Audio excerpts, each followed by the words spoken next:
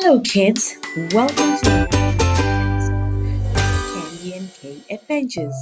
Let's spend time with the animals. Today, we'll be talking about omnivores. What are omnivores? These are animals that eat both plants, fruits, and meat. What kinds of plants do they eat?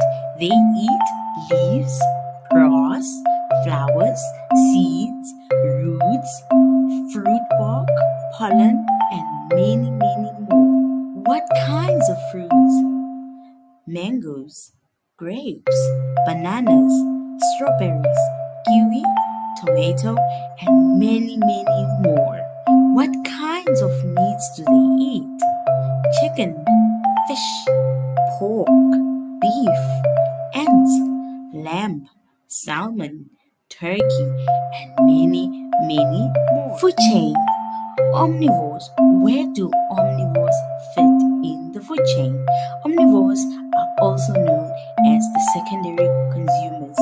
They eat other animals and vegetables to survive. Examples of omnivores Pig. Pigs eat vegetables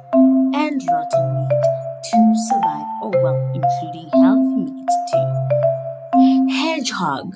Hedgehogs eat leaves and plants, and they also eat small animals like ants to rats to survive. Dogs. Dogs eat beef and they eat vegetables too to survive, including fruit. Raccoons.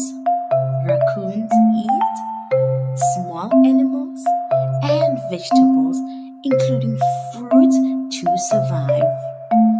Ostrich eats fish and veggies to survive. Ostrich. Chicken. Chicken eats corn and small pieces of meat to survive. This is chicken. Cat.